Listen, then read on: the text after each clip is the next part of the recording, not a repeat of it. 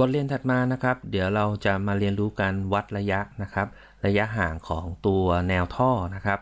จริงๆ ก็อาจจะใช้ SolidWorks ในการวัดก็ได้นะครับ แต่ว่าตัวนี้เนี่ยเราก็จะเห็นรายละเอียดของตัวฟีเจอร์ SolidPlan ว่ามีการวัด แล้วก็แสดง detail ยังไงบ้างนะครับ ลองไปที่ตัวโปรเจกต์ครับ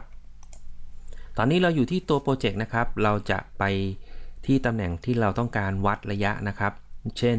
เราต้องการทราบระยะ ห่างของแนวท่อนะครับ ในแต่ละตัวของอันนี้เนี่ยเราสามารถที่จะวัดได้นะครับ โดยการเอาเมาส์เลือกครับ วิธีการเลือกไปที่ท่อ 2 เส้นที่เราต้องการวัดระยะห่างถึงกันนะครับ จากนั้นไปที่ตัว Ribbon Routing ครับ ฟีเจอร์ที่ใช้คือ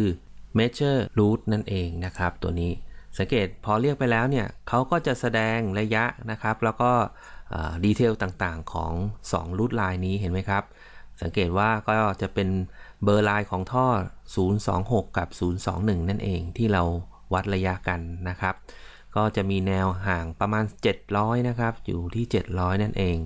ก็จะมี detail ขึ้นมาแบบนี้ โอเคนะครับ อันนี้ก็ไม่ยากครับ การใช้ feature นี้จริงๆ ก็อาจจะใช้ SolidWorks นะครับ เราไปที่ตัว